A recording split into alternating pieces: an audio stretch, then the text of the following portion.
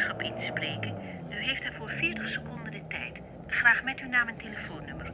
Dank u voor de boodschap. U kunt nu spreken na de pieptoon. Pieter, eh, dit is Suzanne. Ik, ik ben een beetje laat. Ja, ik, dacht dat jij al op kantoor zou zijn. Ik had even langs de kapper willen gaan om een beetje te laten fatsoeneren. Maar dat, dat komt dan later wel, nu jij er nog niet bent. Ehm, ik, ik probeer nog even mijn auto kwijt te raken. Ik kom meteen. Tot zo.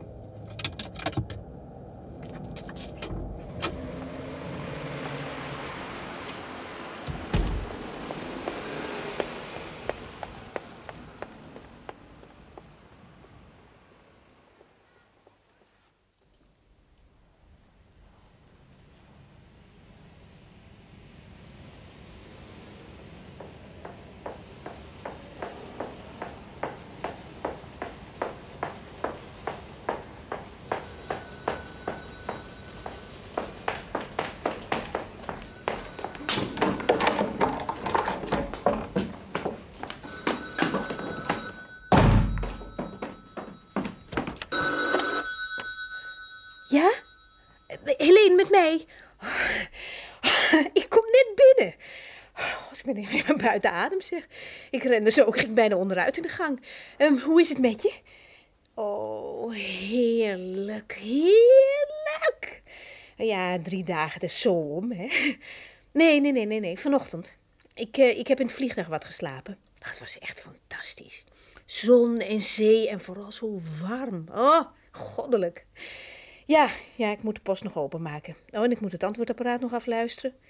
Oeh, ik ben helemaal vol, zie ik. Heel wat gebeld in het weekend. Zelfs op zaterdag kunnen ze ons niet met rust laten. Oh, zullen we tussen de middag afspreken? Eh, in eh, Café Solo. Oh, oh, wacht even, Leen. Er is iemand op de andere lijn. Architectenbureau Holman? Eh, Nee, die is er nog niet. Oh, acht uur. Het is toch pas tien over? Eh, Zal ik vragen of hij u terug wil bellen? Prima, dank u wel. Goedemorgen. Leen, ehm 12 uur in de koffieshop, goed? Nou, ik zal je niet langer ophouden. Ik zie je om 12 uur. Dag. Zo, kleine vriend. Nou, ik ben benieuwd wat jij me allemaal te vertellen hebt. Eens even kijken.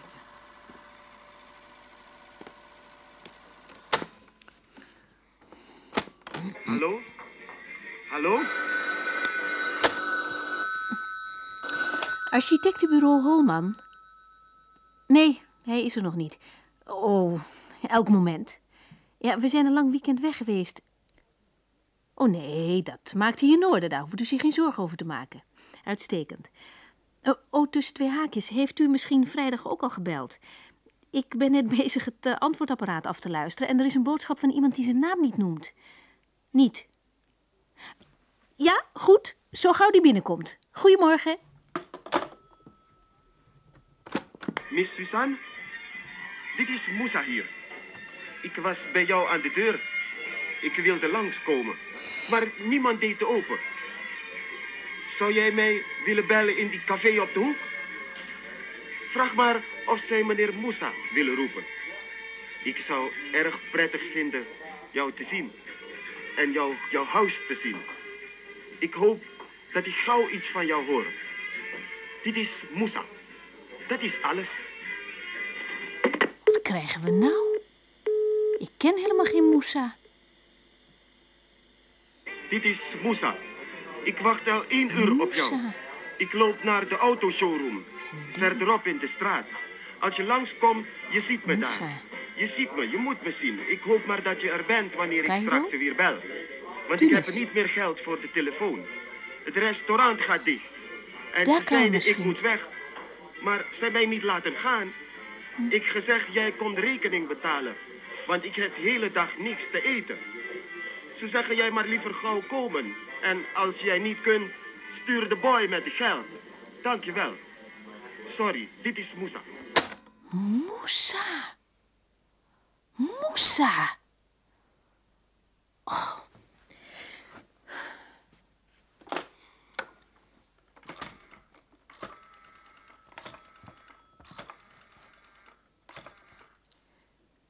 Helene, ik, ik, ik, ik, ik zit een beetje in de knoei. Ehm, een man die ik in Jimali ontmoet heb, die, die duikt ineens hier op. Hij, hij wil me zien. Ja, hij wil me zien om... Ja, maar wat zou jij dan doen? Ik weet niet wat hij wil. Hij zegt dat hij speciaal voor mij gekomen is. Nee, op het antwoordapparaat. Ja, donderdagavond of vrijdag. Ik, uh... ik, ik heb je een keer een foto laten zien van ons samen, weet je nog wel? Ik heb je over hem verteld. Hij ving vlinders. En hij danste de boema als een god. Oh, hij leerde het ons nog. Heel aardig, heel correct. Een in het hotel. Ja, hij zei toen dat hij student was, maar ja, in die landen kan dat van alles betekenen. Van koksmaatje tot, tot doctoraalstudent. Hij vroeg mijn adres, want hij wilde me schrijven. En, en ik heb hem beloofd dat ik postzegels zou sturen. Twee jaar geleden was het. In Jimali. En nu is hij hier. En hij laat boodschappen achter. hij heeft kennelijk niet veel geld. Hij denkt geloof ik dat hij bij mij kan logeren. Ja, ja ik, ik, ik heb hem een adres gegeven. Heb ik verder niet meer nagedacht. Het adres van kantoor. Ja, dat weet ik. Oh, maar ik weet zeker dat hij weer belt. Geen idee waar hij uithangt. Hij, hij zwerft van telefoon naar telefoon. Wat moet ik tegen hem zeggen? Oh, wat mij betreft kan hij best een nachtje komen logeren. Daar gaat het niet om. Maar, maar dan, hè? Hoe krijg ik hem weg? Hè? Oh, jong. Een, een jonge man. Een jongen die droomt van Europa en heel zuinig zijn geld spaarde, als een fooie. Oh, wat zal dat een schok geweest zijn. Moet je je voorstellen, zeg. Komt hier aan, hartje winter en niemand om hem af te halen. En een lang weekend voor de boeg. Ja, hij heeft waarschijnlijk nog een boodschap achtergelaten. Ik heb de cassette nog niet helemaal afgeluisterd.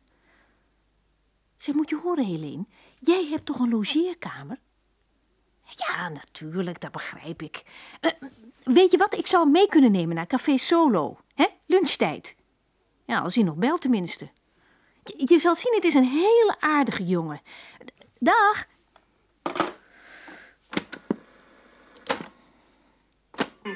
Stuur de boy met de geld. Dankjewel. Sorry, dit is Musa.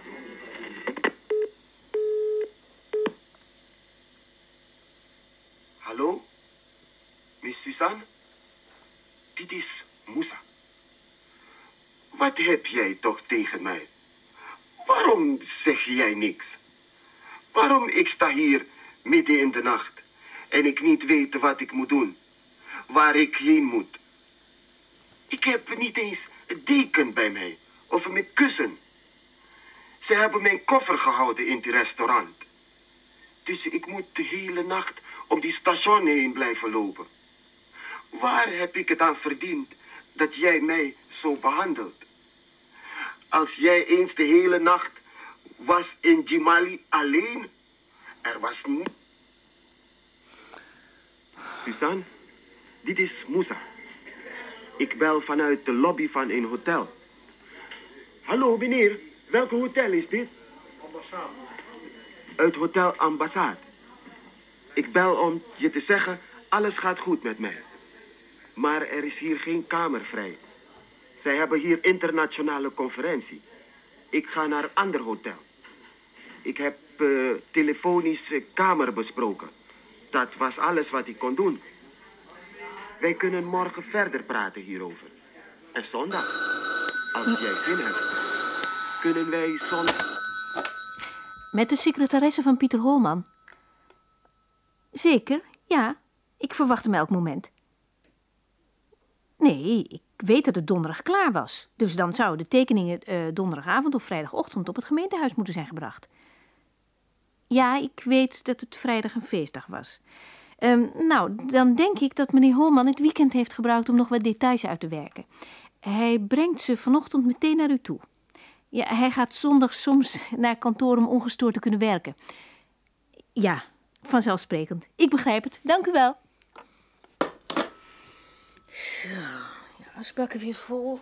Nou, een beetje frisse lucht zou hier geen kwaad doen. Zo, eens even kijken. Nou, hij is weer aan de whisky geweest. Of ik dat niet dat hij hier met zijn uh, oude hobby aan de gang is zondags. Wat is dat voor papier? is die opdracht nou toch? Hij is gek. Hij heeft alles verstoord, die idioot.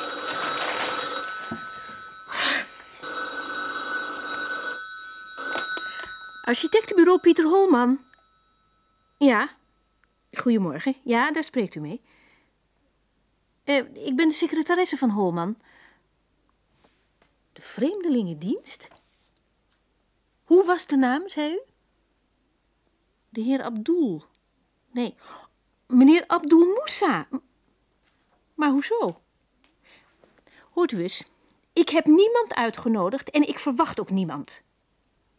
Ja, dat is waar. We hebben adressen uitgewisseld, maar dat was alles. En bovendien was het twee jaar geleden. Nee, ik heb niet gezegd dat ik hem kende. Ik heb gezegd dat ik mijn adres heb gegeven aan iemand in Jimali toen ik daar was. Maar hoe die persoon heette, dat weet ik niet meer. Eh, Een Mustafa of Abdul of Mohammed. Ik heb echt geen idee. Wat ik wel weet is dat ik niemand verwacht en dat ik niet van plan ben om me zomaar voor iemand borg te stellen. Ja, goed, maar ik hou hem hier niet vast uiteindelijk. Dat doen jullie. Jullie hebben zijn paspoort ingenomen. Ja, zo is het toch? Meneer, u moet me nu excuseren. Mijn baas zit op me te wachten. We zitten midden in een bespreking. Nee, dat gaat absoluut niet. Goedemorgen, meneer. Allemachtig.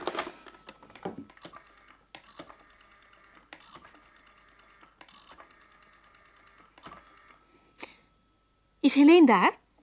Eh, Ja, goedemorgen. Nee, nee, vraag haar maar of ze mij wil bellen. Eh, Suzanne.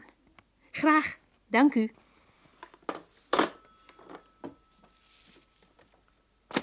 Pieter, ik weet dat je er bent. Je hebt expres het antwoordapparaat aangezet. Het is belachelijk. We zitten hier met z'n allen in de bungalow en jij bent er niet. Als enige. Alsjeblieft, kom nou. De kinderen hebben je de hele maand niet gezien. Wat zullen je vrienden wel niet denken als je weer eens met je grote verdwijntruc komt? Ik, ik weet dat je donderdag klaar moet zijn met je grote klus, dus daar kun je je niet meer achter verschuilen. Kom nou hier naartoe. Als je op deze manier doorgaat, dan zullen de mensen denken dat ze je maar beter met rust kunnen laten. En op een goede dag zul jij merken dat je echt helemaal alleen bent. Bel me tenminste even op, Pieter.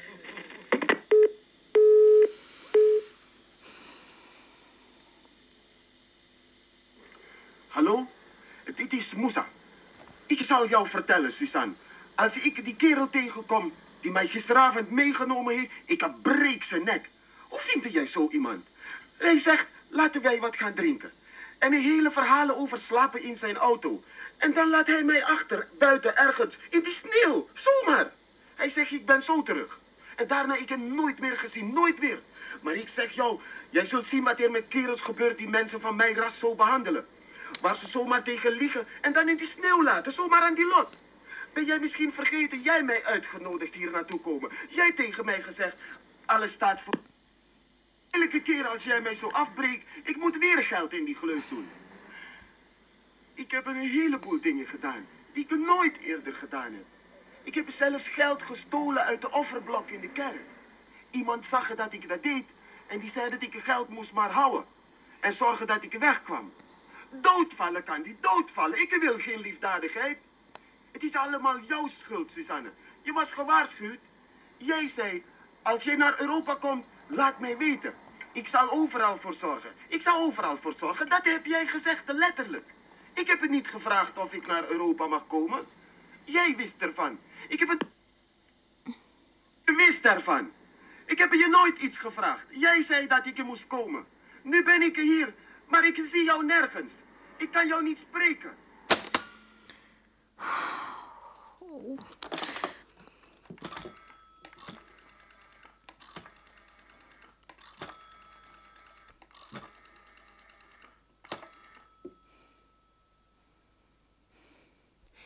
Helene. Ik krijg het doodsbenauwd. Hij, hij, hij schreeuwt, hij eist, hij dreigt en allemaal vanwege een paar minuten s'nachts op het strand. Ja, ja, af en toe, een enkele keer een beetje warmte en tederheid, daar heeft de mens toch recht op? Oh, ik, ik zou me het liefst ziek melden, zeg, maar dat kan niet. Ja, Holman is er niet en er zijn allerlei mensen die je moeten hebben. Wat er nou weer met hem is? Zijn nieuwe project voor een winkelcentrum moet vanochtend op het gemeentehuis besproken worden. Hij heeft een afspraak om half negen en ik heb nog helemaal niets van hem gehoord. Publieke werken kan elk moment terugbellen. Ja, wa- wat moet ik zeggen? Ja, dan heb ik ook nog de vreemdelingendienst op mijn nek. Die beweert dat ik borg voor moet staan. Ja, voor Moussa. Ik piek er niet over. Dat heb ik tegen ze gezegd ook. Volgens mij geloven ze me helemaal niet. Hoezo me niks van aantrekken? Dat kan helemaal niet. Ja, jij hoeft niet naar hem te luisteren. Oh, het is net of hij hier naast me zit, zeg. Zijn adem, zijn woede. Het is nog maar zo'n kind ook. Hè? Ja, ja, oké, oké, oké. Eh, Zeg, kom me dan afhalen om twaalf uur, hè? Of, eh, of eerder als je kunt.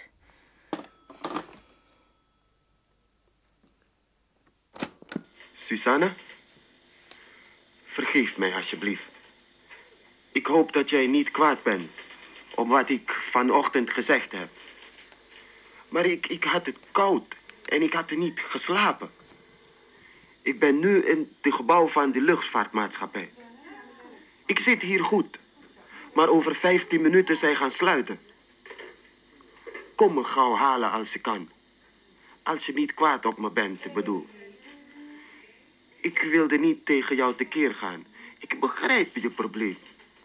En daarom, ik wil dat jij mijn probleem ook begrijpt. Ik vraag niks van je. Maar ik kan niet tot maand...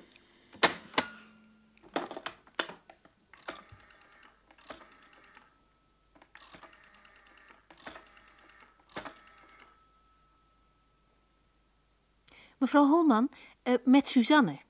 Is uw man daar? Wat zegt u, slaapt hij nog? Maar hij heeft om half negen een afspraak op het gemeentehuis. Oh ja, dan neem ik maar aan dat hij daar recht, rechtstreeks heen gaat, ja. Ehm, zou u hem alstublieft meteen willen wekken? En vraagt u hem dan of hij mij even wil bellen?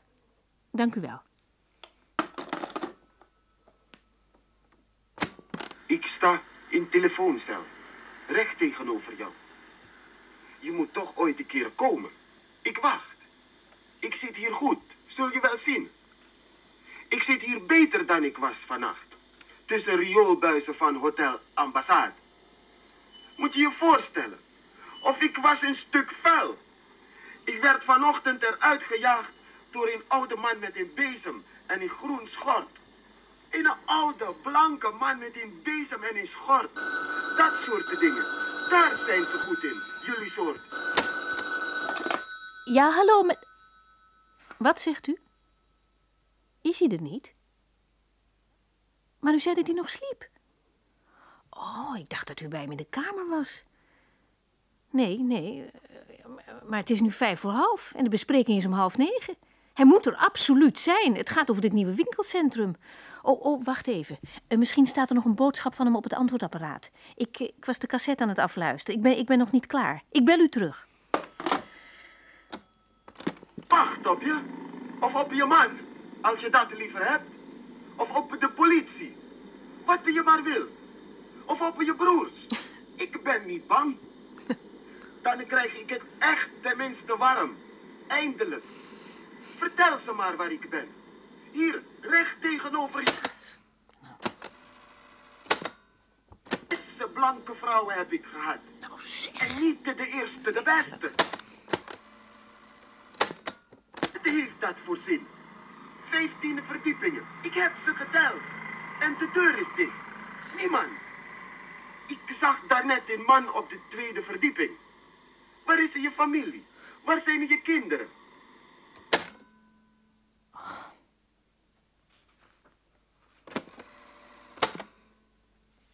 Pieter, iedereen is alweer weg. En ik word gek van de kinderen. Zal ik je eens wat zeggen? Dat hele ontwerp van je, dat slaat nergens op. Het is absoluut krankzinnig om boven auto's te laten rijden en de grond eronder weg te graven. Nou ja, dat doet er ook niet toe. Dien je plannen maar in. Probeer er maar een paar stuivers uit te slepen. En in godsnaam, laat deze keer eens niet met je zollen. Kom eens voor jezelf op. En ik wil ook... Hallo Suzanne, met Pieter. Moet je horen, het is een puinhoop. Er zit niks anders op. Ik zal een paar dagen moeten verdwijnen om de boel een beetje op een rijtje te zetten. Ik voel me ellendig. Het hele idee was trouwens waardeloos. Ik heb de tekening in de prullenbak gegooid. Maar ik had er het weekend aan willen werken, maar... Ik heb er een streep onder gezet. Ik moet weer helemaal opnieuw beginnen. Nou, In elk geval, ik reken op je. Bel jij het gemeentehuis? Eh, zeg maar dat ik niet goed ben.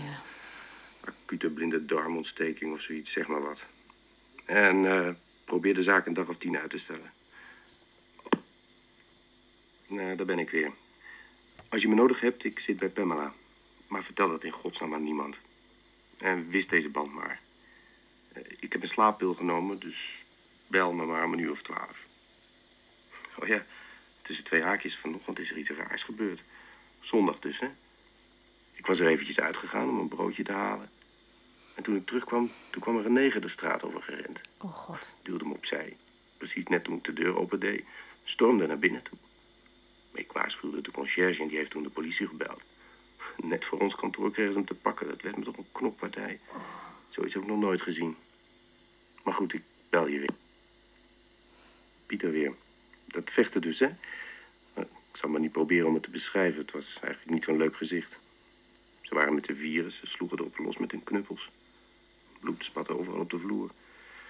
Ik was helemaal van streek naar de hand, als ik eraan dacht. Ik denk dat hij een slok te veel op had en dat hij daarom door het lint ging. Hoe dan ook, ik duik mijn bed in. Ik eh, vertel je morgen het hele verhaal wel. Tamelijk afschuwelijk eigenlijk allemaal. Trouwens, het was zo dat onze zwarte vriend bijna een van die agenten te grazen had genomen. Die anderen die waren echt in staat om hem dood te slaan. Hallo. Architectenbureau Holman. Politie? Ja, die Holman is niet aanwezig. Nee, er is niemand verder. Oh, ja, ja. Ja, heel graag, zeker. Maar niet nu meteen. Eh, zou die over een paar minuten terug kunnen bellen? Ik, ehm, ik ben even bezig. Ja, er wordt me net iets gedicteerd van een apparaat. Ik heb het erg druk. Eh, dank u.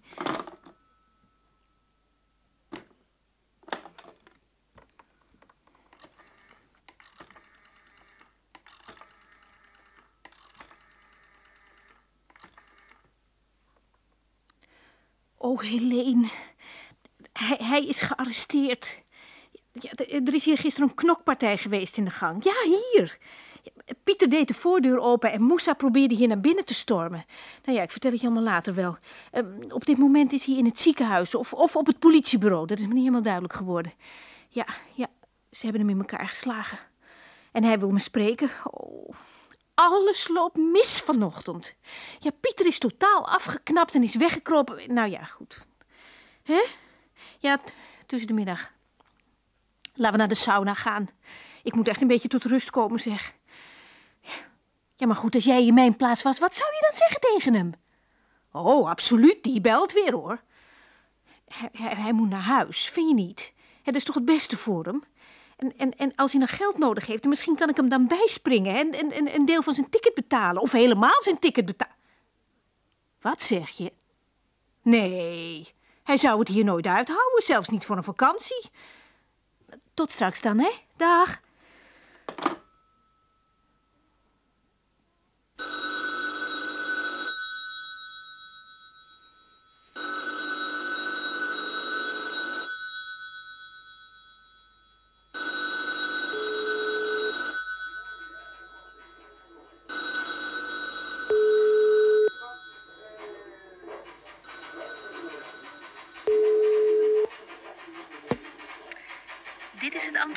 Van architectenbureau Pieter Holman. Op Oh dit moment is er niemand aanwezig. weer. U kunt als u wilt een boodschap inspreken. U heeft daarvoor 40 seconden de tijd. U kunt nu spreken. Hallo? Dit is Moussa. Dag Suzanne. Ik bel om afscheid te nemen van jou. Ik ben bij politie. Er was gisteravond een misverstand, zie je? En toen is er gevochten. Maar vandaag, ik heb mijn verontschuldigingen aangeboden. En zij ook. Ik heb goed geslapen. En ik heb goed gegeten. En in het ziekenhuis hebben ze heel goed voor mij gezorgd. Maar ik heb nu een verband om mijn hoofd. Dus deze keer kan ik niet Europa gaan bekijken. Ik kom een andere keer terug om je op te zoeken. Ze zeggen tegen mij dat jouw baas vliegticket heeft gekocht. Bedank jouw baas voor mij. Het is heel aardig van hem. En wil je jouw baas zeggen dat mijn huis in Jimali voor hem altijd open staat? Ook voor jou. Ik hoop alles goed gaat met jou en met je familie. En met je kinderen. Maar, Suzanne, ben, ben jij daar aan de telefoon? Suzanne? Ha- hallo? Suzanne? Hallo? Uw Suzanne? boodschap is opgenomen. Dank u voor uw telefoontje. Dit was de telefoonbeantwoorder van de schrijver Michel Bory in een vertaling van Han Meijer. Regie Louis Houwet.